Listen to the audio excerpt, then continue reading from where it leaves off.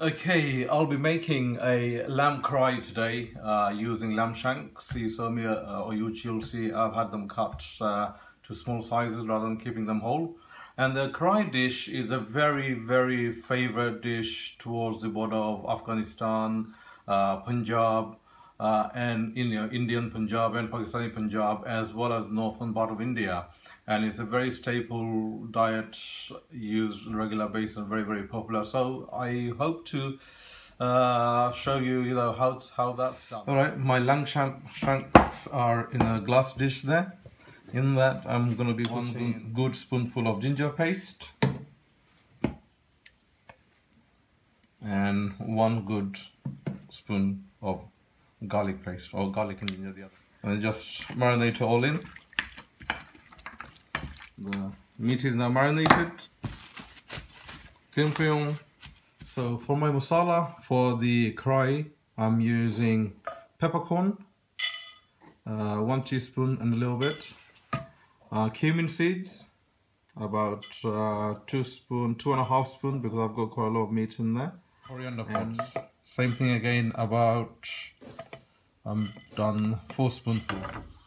The spices have uh, changed color a little bit and they should start jumping about. As the spices are almost done, change color, I'm adding the fenugreek seeds uh, leaves to it, the methi leaves, as I don't, don't want them to burn. My dry, dry roast spices into the pestle.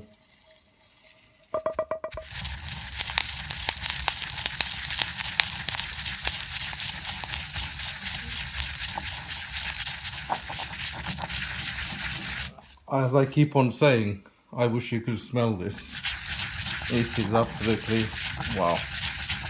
I've just grounded the roasted spice. I just grounded them as they were hot. You can let them cool down and then do it because the fumes can be a little bit overpowering sometimes. So, but you know, as I'm quite used to it, I just couldn't wait to let them cool down. So I've done them. Plus, I think when they're a little bit warmer, they grind better than cool cool down.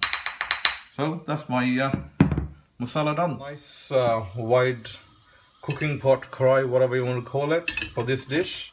And into that, I'm putting roughly about two to three teaspoon. I'm a little bit conscientious on the oil side, so that's probably a spoon and a half, maybe tap more. I don't want to put too much in. So that's the oil is nice and hot now, but not burning. To that, I'm adding my lamb shank pieces which has been marinated in garlic and ginger.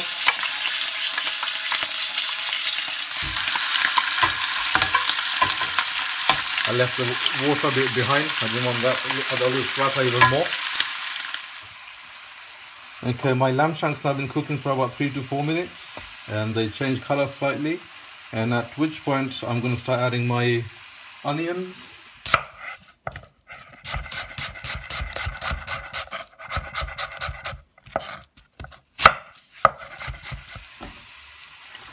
quite a lot of onions because there'll be a little bit of gravy sauce to this. So that's the onions in there.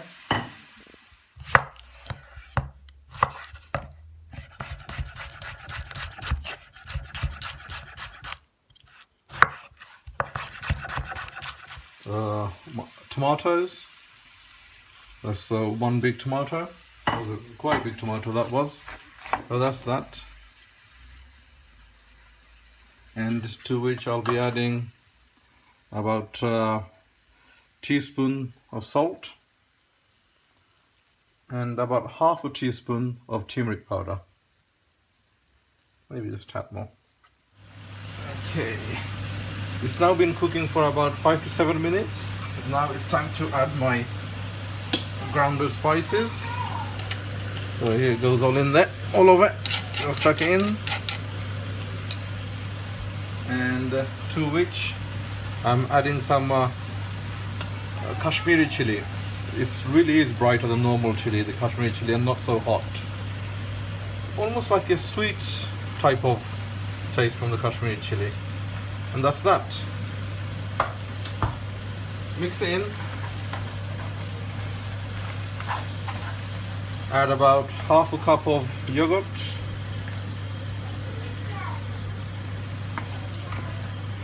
Wow, the smell of this. I think it's gonna go through to next door neighbor through the wall. That's how it smells like.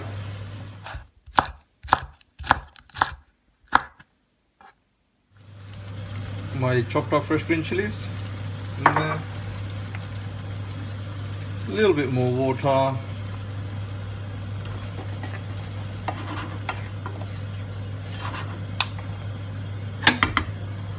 The lid on. Keep an eye on. Cook it medium to high heat for roughly about 20-25 minutes. Keep an eye on it. Depends on the meat, how tender the meat is. So for the moment, lid on and see how it goes. Well, it should go okay, not see how it goes.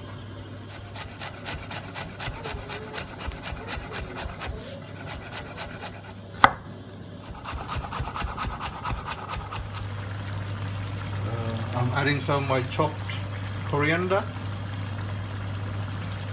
and the fresh ginger. Okay, now my shank's been cooking for roughly about 40-45 uh, minutes just before I bring off the stove. A little bit of coriander, sprinkle on the top and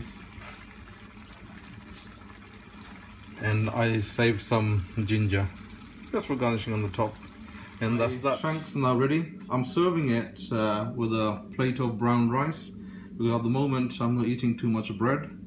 And it's also brown rice is a healthier version but my punjabi cousins they'll be mortified to see rice with karahi because for them it's roti and roti only.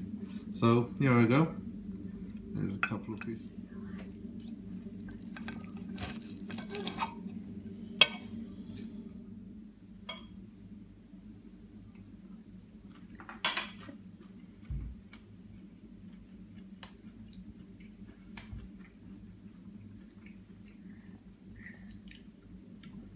Oh, oh, it's just oh, lovely.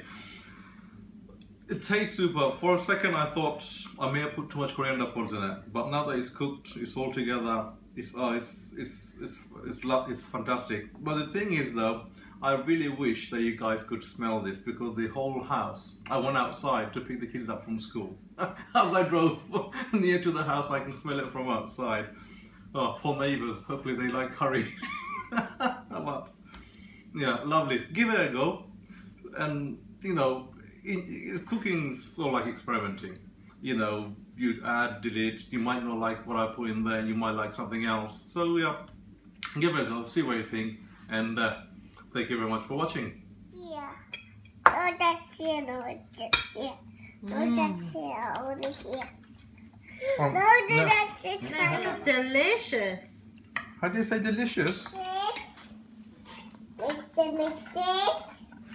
Mommy, hmm? mix it. Okay, good go. Welcome everyone. Uh, this is my version of sag paneer uh, where I've chopped the spinach instead of uh, blending it and you know try it for yourself see what you think and if you like it please leave a comment and share this video thanks very much